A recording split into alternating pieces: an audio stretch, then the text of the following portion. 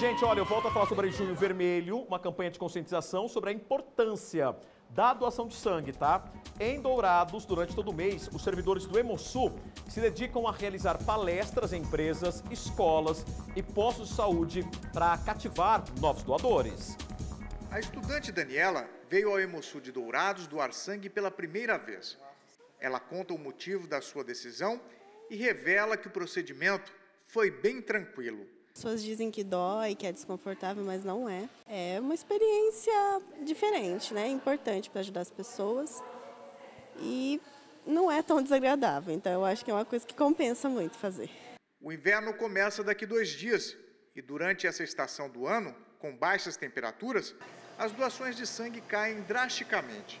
E pensando numa estratégia para atrair doadores nessa época, é que foi criado o Junho Vermelho. O Junho Vermelho é uma campanha de conscientização para a população sobre a importância da doação de sangue. Durante todo o mês, os servidores do Hemosul em todo o estado se dedicam a realizar palestras em empresas, escolas e postos de saúde.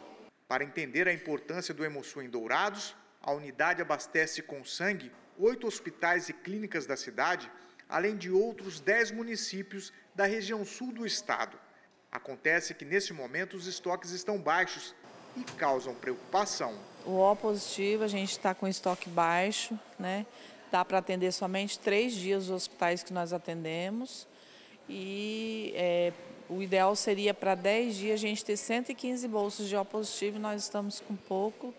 Mesmo com as doações no período da manhã da sexta, a gente só está com 38 bolsas de O positivo. E o O negativo também está bem baixo, porque ele é o, o O negativo é o doador universal, que doa para todos, né? Márcia explica quais os critérios para a pessoa se tornar um doador de sangue e os horários de atendimento na unidade. Pesar mais de 51 quilos, estar em boas condições de saúde, não pode estar gripado, resfriado, com dor de garganta, né?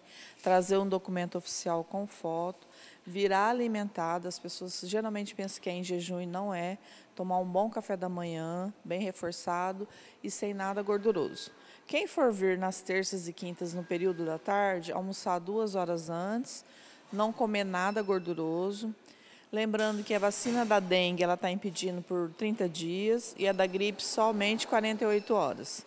O Hemosul de Dourados está em novo endereço, na rua Oliveira Marques, 2535, a 50 metros do Hospital da Vida.